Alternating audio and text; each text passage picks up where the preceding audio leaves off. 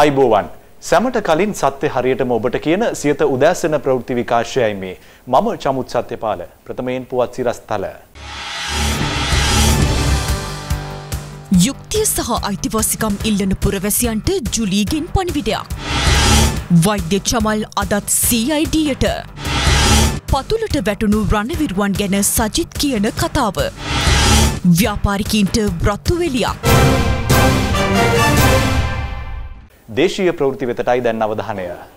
ශ්‍රී ලාංකික ජනතාවගේ යුක්තිය සහ සමාන අයිතිවාසිකම් වෙනුවෙන් ස්ථීර හවුල්කරුවෙකු ලෙස ඇමරිකාව සිටින බව මෙරට ඇමරිකානු තානාපතිනී ජූලි චං පවසනවා. යුද ජයග්‍රහණයේ 15 වෙනි සැමරුම නිමිත්තෙන් එක්ස් පණිවිඩයක් නිකුත් කරමින් ඇය මේ බව ප්‍රකාශ කළා. මෙරට සිවිල් යුද්ධය අවසන් කර වසර පහළවක් සපිරීම නිමිත්තෙන් ශ්‍රී ලංකාවේ අමරිකානු තානාපතිනි ජූලි චං එක්ස් පණිවිඩයක් නිකුත් කර තිබෙනවා. ශ්‍රී ලංකාවේ සිවිල් යුද්ධය අවසන් වී වසර පහළවක් සපිරෙන සන්නොත්සරේදී එක්සත් අනාගතයක් සඳහා ඔරොත්තු දීමේ හැකියාව සහ බලාපොරොත්තුව පිළිමිමු කරමින් එක්සත් ජනපදය සියලුම ශ්‍රී ලාංකිකයින් සමග සහයෝගීතාවෙන් සිටිනවා. යුක්තිය සමාන අයිතිවාසිකම් සහ අවස්ථා සඳහා ප්‍රවේශය අකණ්ඩව සොයන අය ඇතුළුව අප ශ්‍රී ලංකේය ජනතාවට ස්තීර හවුල්කරුවකු ලෙස රැඳී සිටිමු. තිරසර සාමය සහ ප්‍රගතිය සඳහා එහි විවිධත්වය වැළඳගන්නා සමුෘදිවත් අනාගතයක් කරා යන ශ්‍රී ලංකාවේ ඉදිරි ගමනට සහය දැක්වීමට අපගේ කැපවීම අපි යළිත් තහවුරු කර සිටිමු. උපුටා ගැනීම අවසන්. විගණන වාර්තාවෙන් හෙළි කළ ඖෂධ වංචාවලට සම්බන්ධ පුද්ගලයින්ට කඩිනමින් නීතිය ක්‍රියාත්මක කරන ලෙස විශේෂඥ වෛද්‍ය චමල් සංජීව ඉල්ලා සිටිනවා. මේ සම්බන්ධයෙන් පැමිණිල්ලක් ඉදිරිපත් කිරීමට ඊයේ CIDට පැමිණි අවස්ථාවේදී ඔහු මේ බව පැවසුවා.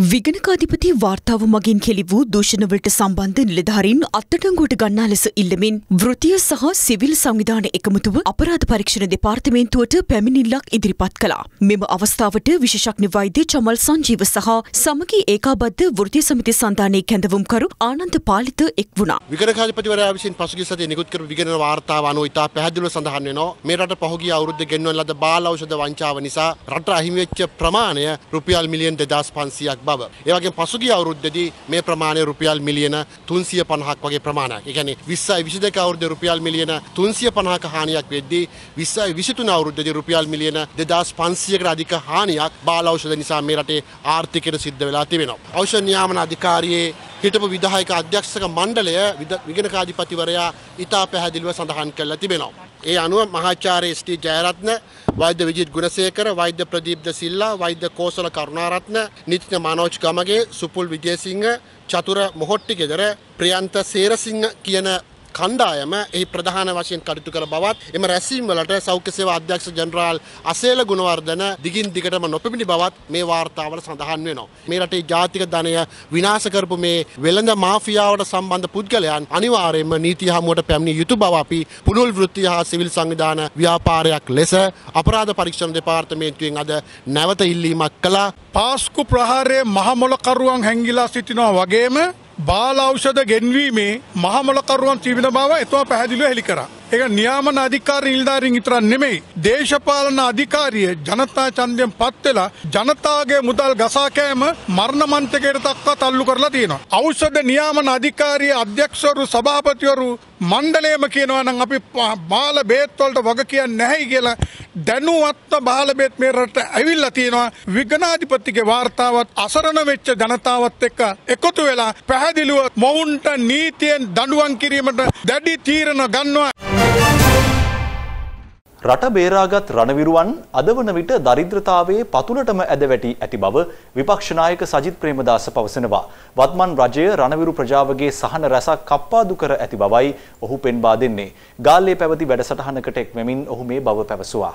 විපක්ෂනායක සජිත් ප්‍රේමදස්සගේ සංකල්පයක් මත ක්‍රියාත්මක සක්වල සුහුරු පන්තිකාමර ලබාදීමේ වැඩසටහනේ එකසිය අනු දෙවන අදියර ගාල්ල නෙළුව දෙල්ලව මහ විද්‍යාලය කේන්ද්‍ර කර ගනිමින් පැවැත්වුණා. එම පාසලට රුපියල් එකොළොස් ලක්ෂ හැත්තෑ හද්දහසක් වටිනා සුහුරු පන්තිකාමරයක් පරිත්‍යාග කිරීම සිදු කෙරුණේ විපක්ෂනායකවරයාගේ ප්‍රධානත්වයෙන්. මෙහිදී පාසල් සංවර්ධන අරමුදලට රුපියල් ලක්ෂයක මුදලක්ද පරිත්‍යාග කරනු ලැබුවා. මේ යුද ජයග්‍රහණයෙන් පස්සේ අපේ ආදරණීය රණවිරු ප්‍රජාවට නිසි යුතුයකම් ඉටු වෙලා තිබෙනවා. ඇත්ත වශයෙන්ම අද රණවිරු දිහා බැලුවොත් රණවිරුවන් රණවිරු පවුල් අන්ත අසරණ භාවයට පත් වෙලා. සමහරෙකුට කර කියා ගන්න දෙයක්. අමතක කරන්න එපා.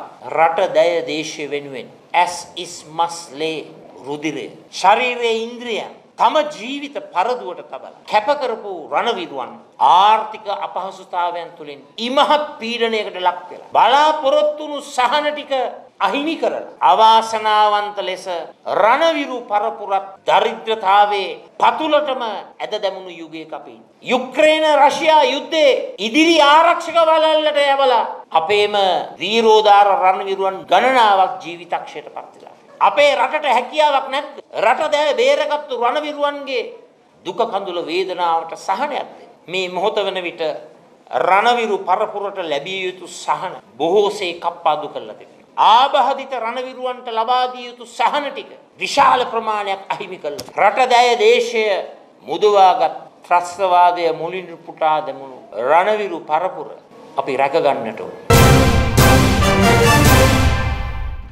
බදු පැහැර හරින මහා පරිමාණ ව්‍යාපාරිකයින්ගෙන් ඒවා අයකර ගැනීම සඳහා දැඩිව නීතිය ක්‍රියාත්මක කළ යුතු බව එක්සත් ජනරජ පෙරමුණේ නායක පාර්ලිමේන්තු මන්ත්‍රී පාටලී චම්පික රණවක පවසනවා.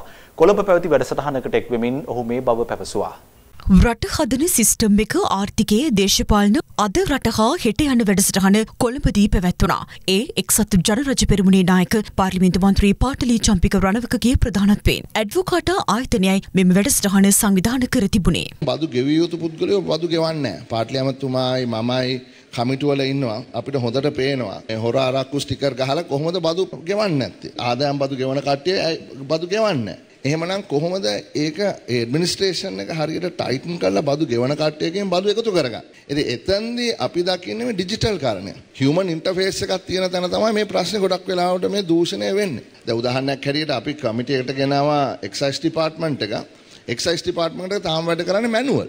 එක්සයිස් ඩිපාර්ට්මන්ට් එකේ සිස්ටම් එක ගන්න. හරි පාට්ලි මමයි ගියා අර අර අකුස්ටිකරක බලන්න. හරි ඒක මහා ලොකු වංචාවක්. ඒ කට්ටියට මේ ලයිසන් එකේ ගාන ගෙවන්න නැතුව ඉදිරියට යන්න එපා කියලා නිර්දේශයක් දුන්නට යම් කිසි හේතුන් මත ඒගොල්ලෝ නැවතත් එක කරගෙන යන්න පටන් ගත්තා. එතකොට එතන තියෙන හොරකම දූෂණය වංචාව නවත්තන්න ඩිජිටලයිස් කරන්න කොහොමද? හියුමන් ඉන්ටර්ෆේස් එක අයින් කරන්න කොහොමද? රැමිස් එක වැඩ කරන්නේ නැහැ. ඉට්මින් එක වැඩ කරන්නේ නැහැ. එක්සයිස් එකට සිස්ටම් එක ගන්න. IMF එකේ තියෙන්නේ 100.5කින් ටැක්ස් එකතු කිරීම වැඩි කර ගන්න පුළුවන් කියලා. මම විශ්වාස කරනවා 100.5කින් නෙවෙයි 105කින් වැඩි කර ගන්න පුළුවන් වෙයි. ශ්‍රී ලංකාවේ ගෙවිය යුතු බදු රුපියල් ට්‍රිලියනයකට අධික ප්‍රමාණයක් ගෙවන්න නැතුව ඉන්නවා බදු ගෙවිය යුතු පුද්ගලයෝ. එතකොට දැන් ඒ බර කාගේ පිටටද ඇවිල්ලා තියෙන්නේ? සාමාන්‍ය මහ ජනතාවගේ පිටට. පොඩි ගණන් බදු ගෙවිය යුතු පිරිස මේ රුපියල් බිලියන ගණන් වලින් බදු රජයට ගෙවිය යුතු පිරිස. ඒ පිරිස කියනවලු අපි මේ දේශපාලඥයන්ව බලයට ගේන්න සල්ලි වියදම් කරලා තියෙනවා. ඒ නිසා මොකටද තව වතාවක් අපි ආණ්ඩුවලට බදු ගෙවන්නේ කියලා. මොකද අපි අපේ කොටස කරලා තියෙන්නේ කියලා. මෙන්න මේ වගේ මානසිකත්වයක් තමයි අවාසනාවකට අපේ රට තුල කාලාන්තරයක් තිස්සේ හැදිලා තියෙන්නේ. ඒ ට්‍රිලියනෙන් දේශාධන දෙපාර්තමේන්තුවේ බිලියන 188ක් වහාම එකතු කළ හැකි. තව බිලියන 667ක් අවුරුදු 5ක් ඇතුළත තියෙනවා. රේගු දෙපාර්තමේන්තුවේ බිලියන 58ක් තියෙනවා එකතු නොකළ බදු. ඒවයින් 90%ක්ම රාජ්‍ය ආයතන. ඒ වගේම සුරාබදු දෙපාර්තමේන්තුවේ තාමත් බිලියන හතක් පමණ තියෙනවා එකතු කරන්න මේ වසරේ අපි මැදිහත් වීම නිසා පුළුවන් වෙලා තියෙනවා 90කට වඩා බදු එකතු කරගන්න සුරාබදු දෙපාර්තමේන්තුවේ. නමුත් අතීත බදු තියෙනවා. මේක පියවරෙන් පියවර කළගත යුතු දෙයක්. පළවෙනි එක තමයි මේ බදු එකතු කිරීමේ යාන්ත්‍රණය නීති රීති වෙනස් කිරීමෙන් හෝ දැඩිව මේවා ක්‍රියාත්මක කිරීමෙන් මේවා එකතු කරන්න ඕන. මොකද අපි නියෝගයක් දුන්නා මේ බදු පොලුකාරයින්ගේ බැංකු ගිණුම් තහනම් කරන්න. අද පාකිස්තානයේ සිම් කාඩ් එකක් ගන්න බෑ බදු පොලු තිබ්බොත්. එවැනි දැඩි පියවර අනුගමනය නොකොට මේ බදු එකතු කරන්න බෑ. අපි නියෝගයක් දුන්නා නොවැම්බර් 1 වෙනිදා ගිය අවුරුද්දේ අරක්කු බදු නොගෙවපු අයගේ පර්මිට් තහනම් කරන්න කියලා. පර්මිට් තහනම් කළා 6 දෙනෙක්ගේ. දවස් 4කට පස්සේ ගෙවන්න පටන් ගත්තා. ආයේ දෙසැම්බර් 4 නැවතුණා. ඒ අනදීපු සුරාබදු කොමසාරිස්වරයාත් ගෙදර ගියා මාවත් ගෙදර ඇරියා. ඒ වගේ තමයි මේක වෙන්නේ. ඒක තමයි මේ බලවන්තකම මේ ජාවාරංකාරීන්ගේ. ඔය සුරාබදු මට බලයක් දෙනවා නම් මම බොහොම පැහැදිලිව කියලා දෙනවා. දවස් දෙකකින් විසඳන්න පුළුවන් ප්‍රශ්නයක්. ඒ පර්මිට් එක නවත්තපු හැටි ගෙවනවා. ඒක තමයි ඇත්ත. ඉතින් ඒක නිසා නීතිය තදින් ක්‍රියාත්මක කළ යුතුයි. තමාගේ වැඩපිළිවෙලට ඊර්ෂ්‍යා කරන දේශපාලඥයින් සිටින බව මහජන ආරක්ෂක අමාත්‍ය ටිරාන් අලස් පවසනවා. කුඩු සහ පාතාල ලොක්කන්ගෙන් යැපෙන්නන් සමාජ මාධ්‍ය ඔස්සේ තමාට සහ පොලිස්පතිට මඩ ප්‍රහාර එල්ල කරමින් සිටින බවයි ඔහු වැඩිදුරටත් ප්‍රකාශ කළේ. නිහඬ කරලා මේ වැඩ පිළිවෙල නවත්තන්න පුළුවන් නම් ඒකට ඕනම දෙයක් කරන්න ලෑස්ති පුද්ගලයෝ ඉන්නවා. මඩ ගහලා අපේ මනස වටලා අපිව වෙන පැත්තකට ගෙනහිල්ලා අපි ඒවට උත්තර දෙදී ඉන්නකොට මේවා මේ වැඩ කොටස අතපසු වෙන විදිහට වැඩ කරනවා. නමුත් මම මේ වැඩ කොටසෙන් අයින් වෙලා ඒව ගැන හිත හිත ඒවට උත්තර දෙන්න යන්නේ නැහැ. දැන් බලන්න පොලිස්පතිතුමා උදේ පාන්දර නැගිටිලා ඉඳලා රැය වෙනකම් වෙන පොලිස්පතිවරු වගේ නෙමෙයි දිගටම ෆීල්ඩ් එකේ ඉඳගෙන මේ වැඩ කටයුතු කරනවා. ඒතකොට එතුමාට මොකද කරන්නේ? එතුමාට ගහනවා සමාජ මාධ්‍යේ දිගටම ගහනවා.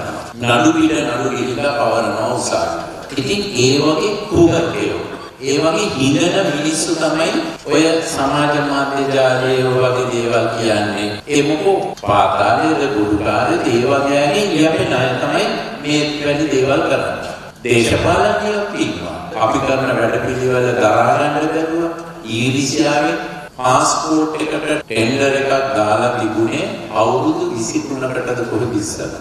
ඊට පස්සේ මේ අවුරුදු 23 කාලෙම දුන්න අයටම ටෙන්ඩර් කතා කරන්නේ නැතුව ඒගොල්ලන්ගේ ගණන් වලටම රීഓඩර් රීഓඩර් කියකිය මේ අවුරුදු ගානම මම මේ පාර ටෙන්ඩර් ටෙන්ඩර් එකක් දාන්න කිව්වහම ඔක්කොම හිතුවා මට ඒක කරගන්න බැරි වෙයි කියලා. නිකන් මේ පොතට අපි ගෙවලා තිබුණා මට මතක විදිහට ඩොලර් 5යි 89ක් විතර.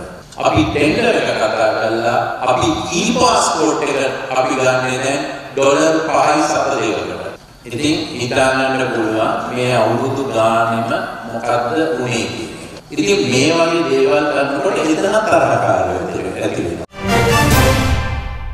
ඒ පොතත් සමගින් සියත උදෑසන ප්‍රවෘත්ති විකාශය අවසන්. ඔබට සුබ දවසක්. රටේ ලෝකෙ සිදුවන උණුසුම් පුවත් දැනගන්න සියත නිවස් YouTube channel එක අදම subscribe කරන්න.